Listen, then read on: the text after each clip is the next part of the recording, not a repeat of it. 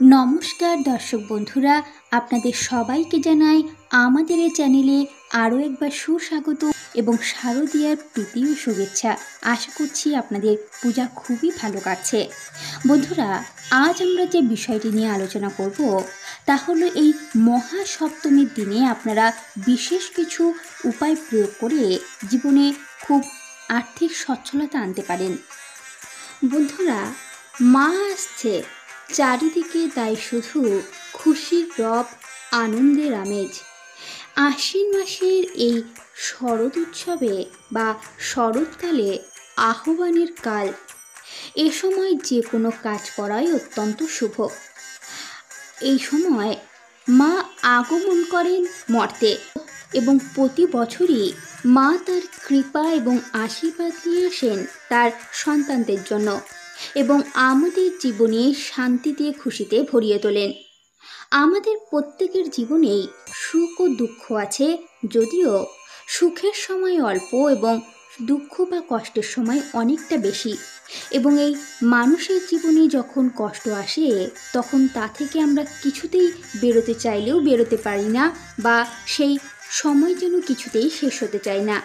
আর এই সময় থেকে বেরোতে বা এই সময় যেন আমাদের জীবনে দীর্ঘস্থায়ী না হয়, তা থেকে মুক্তির উপায় পেতে আশ্বিন মাসের এই মায়ের আগমনের সময় অত্যন্তই শুভ। আর এই শুভ সময়কে আমরা যদি কাজে লাগাতে পারি এবং তিনটি চমৎকারী উপায় প্রয়োগ করতে পারি, তাহলে আমাদের ভাগ্যের আমূল পরিবর্তন লক্ষ্য করতে পারব। বা আমাদের জীবনে যে সমস্ত সমস্যা ছিল, তা থেকে আমরা সহজেই মুক্ত হতে পারব এবং জীবনে সুখ শান্তিতে ভরে যাবে। তার জন্য আমাদের এই দুর্গাপুজোর মহাসপ্তমীর দিন তিনটে টোটকা করতে হবে এবং এই টোটকাগুলি অবশ্যই সকালে করবেন। বন্ধুরা মহাসপ্তমীর দিন সকালে উঠে আপনারা স্নান করে শুদ্ধ বস্ত্র পরিধান করবেন এবং তারপরেই এই টোটকাগুলি করবেন। প্রথমে যে উপায়টি করবেন সেটি হলো আপনার সমস্ত কাজ আদি থেকে নিবৃত হয়ে স্নান সেরে শুদ্ধ বস্ত্র পরিধান করে নেবেন। তারপর দুটি পেরেক নিয়ে নেবেন।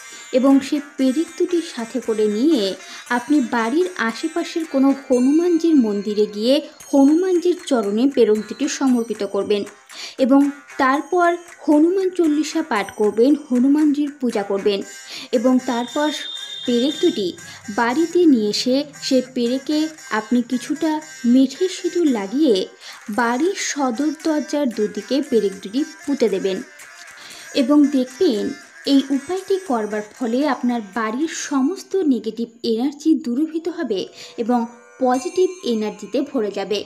এবং সাথে এটাও আপনি নিজেই লক্ষ্য করতে থাকবেন যে আপনার বাড়িতে ছোটোখাটো বিষয়ে যে অশান্তি প্রায়শই লেগে থাকতো, সেগুলি ক্রমশ কমতে থাকছে এবং আপনার সংসার সুখের শান্তিতে ভরে উঠবে। বন্ধুরা, এই সপ্তমীর দিনেই আপনারা যে আরেকটি বা দ্বিতীয় উপায় যেটি করবেন, সেটি হলো মা দুর্গার একটি ছবি নিয়ে নিন বা আপনার বাড়িতে যদি মা দুর্গার প্রতিমা থাকে, তাহলে মায়ের সামনে এই মহা সপ্তমীর দিন মাকে একটি বিশেষ ভোগ দেবেন। আপনি সাতটি লাড্ডু নিয়ে নেবেন এবং সাতটি লাড্ডুতে সাতটি লবঙ্গ পুঁতে দিতে হবে এবং লবঙ্গর ফুলগুলি যাতে বাইরে থাকে সেই দিকটি লক্ষ্য করবেন। তারপর সেই লবঙ্গযুক্ত লাড্ডুগুলি একটি তামার পাত্রে সাজিয়ে সেই লবঙ্গযুক্ত লাড্ডু মাকে নিবেদন করুন এবং মনে মনে মাকে বলুন, মা, তোমার উদ্দেশ্যে আমি ভোগ নিবেদন করলাম।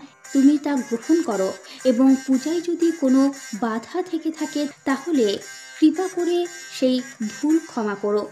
এবং এবং তারপর মায়ের সামনে ধূপধুনো ধরিয়ে মায়ের আরতি করুন এবং এই সময় একটি কর্পূর অবশ্যই জ্বালাবেন এবং কর্পূরের মধ্যেও একটি লবঙ্গ দিয়ে অবশ্যই জ্বালাতে হবে এবং তারপর মনে মনে একটি মন্ত্র অবশ্যই পাঠ করতে হবে।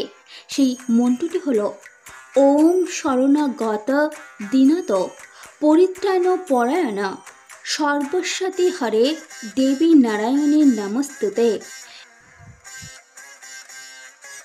এই মন্ত্রটির জপ আপনি এগারো বার বা একশো বার মনে মনে অবশ্যই পাঠ করবেন। দেখবেন মায়ের কৃপায় আপনার জীবন থেকে সমস্ত অন্ধকার দূরীভূত হচ্ছে এবং আপনার সমস্ত সমস্যার সমাধান এক নিমেষেই হয়ে যাবে। বন্ধুরা, এই মহা সপ্তমী তিথিতে আপনারা মা দুর্গা এবং হনুমানজির একত্রে বিশেষ আশীর্বাদ পেতে তৃতীয় যে টোটকাটি করবেন সেটি হলো, এই মহাসপ্তমীর দিনে আপনি মায়ের চরণে অবশ্যই অর্ঘ্য নিবেদন করবেন এবং অর্ঘ্যের জন্য প্রয়োজন হবে আপনার একশো আটটি দুর্বা, একশো আটটি আতপ চাল, একশো আটটি জব এবং একটি আলতা।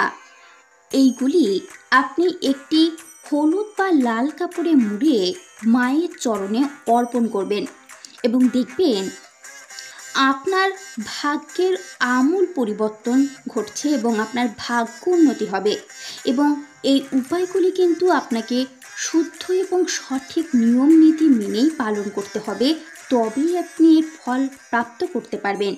দেখবেন এই উপায়গুলি করে আপনার আর্থিক উন্নতি হবে, আপনার অর্থভাগ্য বৃদ্ধি পাবে এবং আপনার পারিবারিক সুখ শান্তি বজায় থাকবে। সাথে সাথে বাড়ির আর্থিক সচ্ছলতা বৃদ্ধির সাথে সাথে দেবী দুর্গা এবং হনুমানজির আশীর্বাদ তো প্রাপ্ত হবেই এবং আপনার সমস্ত বাধা বিপত্তি বিঘ্ন দূর হবে।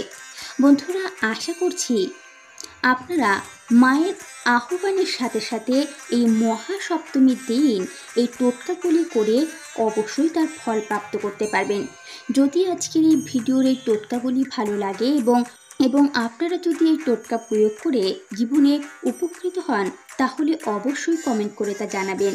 বন্ধুরা, আশা করছি আজকের এই ভিডিওর তথ্য আপনাদের ভালো লেগেছে। যদি ভিডিওটি ভালো লেগে থাকে তাহলে লাইক করবেন এবং আপনজনদের উদ্দেশ্যে অবশ্যই শেয়ার করতে কিন্তু ভুলবেন না। বন্ধুরা, আজকের মতো ভিডিওটি এখানেই শেষ করছি।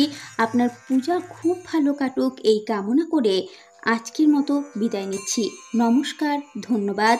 ভালো থাকবেন, সুস্থ থাকবেন এবং এই পূজা আপনার খুব ভালো কাটুক, মায়ের আশীর্বাদ আপনার উপর বজায় থাকুক, এই কামনা করছি।